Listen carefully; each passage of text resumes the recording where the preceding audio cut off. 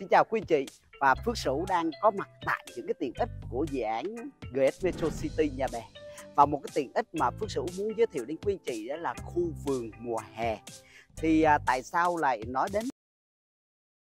Bởi vì tại cái khu vườn này thì chủ đầu tư trồng khá nhiều cái loại cây à, về mùa hè thì sẽ có hoa nở theo mùa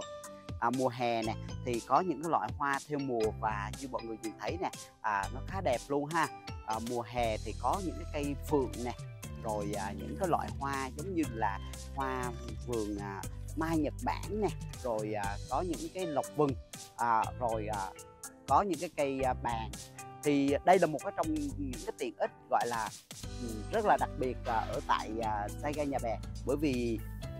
chỉ có một cái phân khu nhỏ thôi à, 17.8 hecta mà có đến khá đến khá nhiều công viên có đến khoảng 7 đến 8 công viên. Và trong đó có bốn công viên chính là theo bốn chủ đề là xuân hạ thu đông. Và vị trí của sửu và mọi người đang đứng là một cái công viên à, mùa hè ha.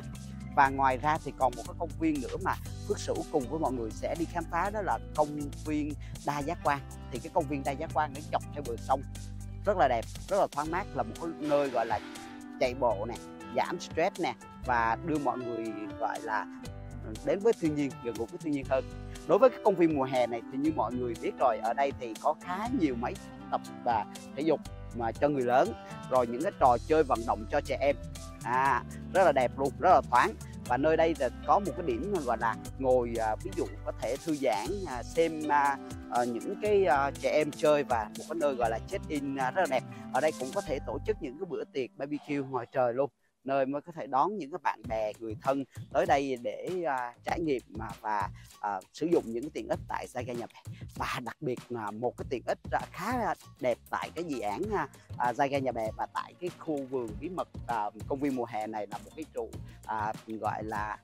Omegacy. À, nơi đây thì có những cái bất chắc xảy ra hoặc có những cái sự cố kỹ thuật gì từ người lớn đến trẻ em mình có thể ấn nút gọi là sẽ có trực ban và ban quản lý ở nơi đây. À, những cái đội bảo vệ họ sẽ chạy ngay đến à, và họ có thể là xử lý những cái trường hợp bất trắc những cái à, trường hợp mà không mong muốn xảy ra một cách nhanh chóng nhất một cái sự à, kết hợp tài tình. Và ở đây cũng tích hợp mà những công nghệ 4.0 gọi là vào trong khu đô thị là ở đây thì mình có thể là hệ thống nước tưới cây tự động nè. Và đồng thời ở đây là hệ thống ánh sáng nè à, chỉ cần vào buổi chiều tối mình đi dạo tới đâu thì ánh sáng tới đó sẽ sáng lên. À, rất là tuyệt vời phải không quý chị à, đây là mới chỉ là một cái công viên mùa hè rất là nhỏ thôi nhưng mà khá nhiều cái tiện ích để cho quý cư dân à, những cư dân ở đây khi mà chọn lựa nơi ở đây là một nơi sống để ở và làm việc nơi định cư lâu dài thì đây chắc hẳn là một trong những cái giá trị bất động sản cực kỳ hot cho quý chị chọn lựa làm một nơi ở và an cư lạc nghiệp tại đây nhé. Cùng với Phước Sửu khám phá nhiều video hơn à, về cái dự án xây nhà bè và đừng quên like, subscribe kênh của Phước Sửu để nhận những video mới nhất về những bất động sản hot ở toàn quốc nhé. Xin chào và hẹn gặp lại.